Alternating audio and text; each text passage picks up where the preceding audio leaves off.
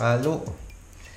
Ich habe mir mal endlich diesen Hobbywing OTA Programmierer gekauft. Das heißt, dann kann ich hier mit der App auf dem Handy den Regler programmieren. Das kann man natürlich auch ohne Probleme mit der Programmierkarte machen. Aber eine Sache geht halt nicht mit der Programmierkarte und das ist das generelle Profil. Der steht jetzt zum Beispiel ähm, der XR10 Pro Regler hier in meinem XB4 Allrad ähm, Auto steht auf 2W Debugging. Und ähm, das kann ich nicht mit der Programmierkarte umstellen. Äh, dann hat er halt irgendwelche anderen Konfigurationen da drin. Ich will den jetzt auf 4WD umstellen und dafür brauche ich den halt. Und der verbindet sich halt mit Bluetooth. Wir schauen uns mal an, wie er aussieht und entpacken den mal. Ist halt fein säuberlich verpackt hier in diesem Plastikbehälter. So. Und so sieht der aus vom Nahen. Ist glaube ich sogar Metall, ja. Und äh, sieht sehr wertig aus. Den schließe ich jetzt an den Regler an. Äh, das sollte eigentlich an den Lüfter gehen, weil sonst wüsste ich auch nicht. Woran sonst? Wir schauen uns mal eben kurz noch an, was sonst noch dabei ist. Also man hat hier noch zwei Kabel oder eins. Ach so, ein ähm, Y-Kabel. Wenn man den Lüfter vielleicht anlassen will oder so. Aber schauen wir mal einmal in die Beschreibung rein, bevor wir alles verkehrt machen. Mehr kommt dann auch gar nicht damit.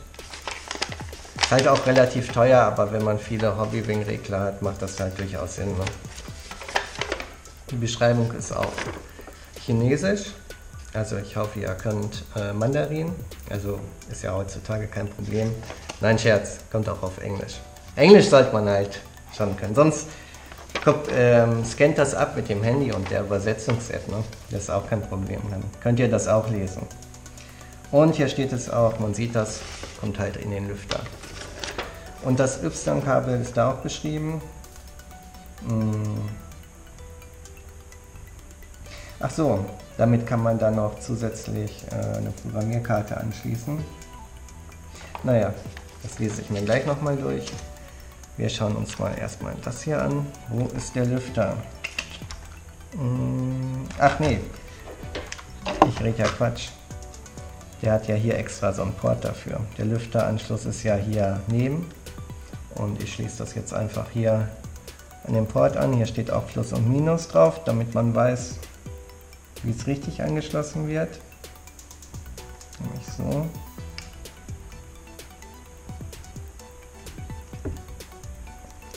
So, und dann müssen wir das Ganze anstellen. Und jetzt gucken wir mal, ob er den verbindet. Bluetooth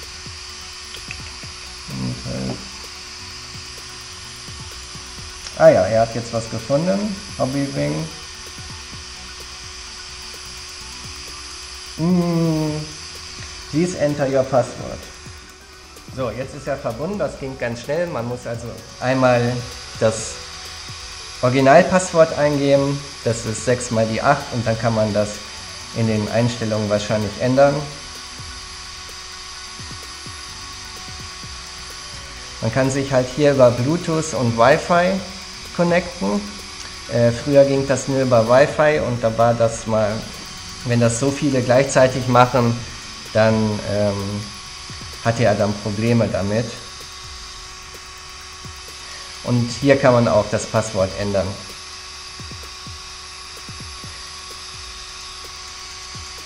Jetzt mache ich mal die Parameter auf. Und jetzt lädt er sich das halt runter von dem Regler. Drunter sieht man das. Und hier sieht man das, was ich meinte. Buggy 2WD Modified. Das ist halt genau das, was man nur hiermit umstellen kann. Und man sieht ja, wie viele verschiedene Auswahlmöglichkeiten mir, Entschuldigung, wie viel man hier hat. Kann halt auch so einen Crawler-Mode zum Beispiel einsetzen, Tourenwagen. Ähm, ich sage jetzt aber hier Buggy 4WD Modified. So, und jetzt hat er das Profil geändert und jetzt können wir gucken, was wir hier fahren. Forward with Brake, Maximum Brake Force, Cut-Off Voltage, Thermal Protection vom Motor und vom ESC. Remote Off ist halt auch, finde ich, sehr schön, wenn man nach hinten drückt, also die Bremse drückt für 6 Sekunden, dann geht das Auto halt automatisch auf. Fully Sensored, Motor Rotation. Naja, und dann kann man halt unheimlich viel Werte einstellen. Die sollte man auch alle mit der Programmierkarte einstellen oder konnte ich auch einstellen. Ich glaube, da hat nichts gefehlt. Ähm, und ja, die Brake Force ist halt auch sehr schön. Die ist halt in 100 Schritten einstellbar. Das ist halt wirklich schön gemacht. Und dann gibt man hier Confirm. Und dann hat er das übernommen. Hier sieht man dann auch unten den Data Record. Das ist halt auch eine Funktion, die ich ähm, so natürlich nicht mit der Programmierkarte haben konnte. Ich schließe dieses Bluetooth-Modul an und sehe dann einfach, äh, wie warm ist ähm, der Regler geworden und wie warm ist der Motor geworden. Und ähm, wie viel Volt hatte ich. Auch maximale Motordrehzahl wird hier angezeigt. Das ist gerade am Anfang ganz interessant mal zu gucken. Und äh, gerade wenn man auch neu auf der Strecke ist, kann man da durchaus das mal gebrauchen, um zu gucken, ist das noch alles im grünen Bereich oder äh, sollte ich da vielleicht mal ein bisschen Boost zurücknehmen. Ja, und diese Werte sehe ich dann auch nochmal explizit, explizit hier im äh, Datalog. Da wähle ich hier ein Fahrzeug und dann wird hier aufgelistet maximale Temperatur für den Regler, für den Motor, die minimale äh, Volt, äh, Voltwert der Batterie, die maximale ähm, Motor ähm, APM, also Umdrehung, Firmware, äh, welche Version ich dann im Regler benutze, welches Reglermodell ich benutze und wann ich die Daten ausgelesen habe. Dann kann man das natürlich auch löschen und wieder neu aufzeichnen oder er listet das wahrscheinlich weiterhin ähm, so untereinander auf. Ja, werde ich dann mal demnächst an der Rennstrecke testen, wie es sich so macht. Und ähm, ich denke, es ist eine gute Möglichkeit, eine sehr einfache, moderne Möglichkeit. Und gerade da ich auch viele Regler habe von Hobbywing, die meisten sind halt damit kompatibel, so ganz alte Regler dann vielleicht nicht, aber ähm, in den Rennfahrzeugen die Regler schon. Und insofern macht das natürlich wirklich Sinn. Ich habe nochmal gelesen, dieses Y-Kabel äh, kann es sein, dass man das bei manchen Reglern braucht, aber im seltensten Fall. Ähm, aber es liegt dabei und falls man es benötigt, äh, okay.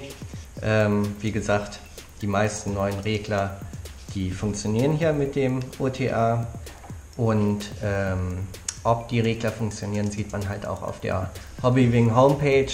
Da steht dann immer dabei, wie man diesen Regler halt programmieren kann. Und ähm, wenn man mit dieser neuen digitalen Karte die Regler programmieren kann, dann funktioniert funktioniert es meistens auch hier mit dem OTA, aber das müsst ihr dann für euren jeweiligen Regler entsprechend auf der Homepage angucken. So sieht der ähm, OTA-Empfänger halt äh, wieder verpackt aus. Das ist halt wirklich schön gemacht, weil ähm, so ist er immer sicher dabei. Ist ja jetzt auch relativ klein, so verliert man ihn nicht und kann ihn immer perfekt in der RCK-Tasche mit haben, wo man halt auch seine anderen Sachen drin hat die man so braucht und man hat es immer griffbereit. Also das ist schon ganz schön gemacht. Ja, zum Preis, hier steht jetzt Ladenpreis 71, ähm, hatte ich von HK gekauft. Ähm, Im Internet ist er dann so ein bisschen billiger, aber ist halt relativ teuer. Ähm, aber so eine Programmierkarte kostet halt auch ein bisschen und äh, diese hat halt deutlich mehr Funktionen und ähm, wie gesagt, man bindet sich natürlich auch so ein bisschen an Hobbywing, aber irgendwie haben die ja doch die besten Regler, finde ich jedenfalls. Und von daher ist es eine einmalige Investition und ähm, eigentlich ganz empfehlenswert. Ich habe lange gewartet, mir den zu kaufen, aber habe ihn jetzt doch und ich denke, ich werde es nicht bereuen.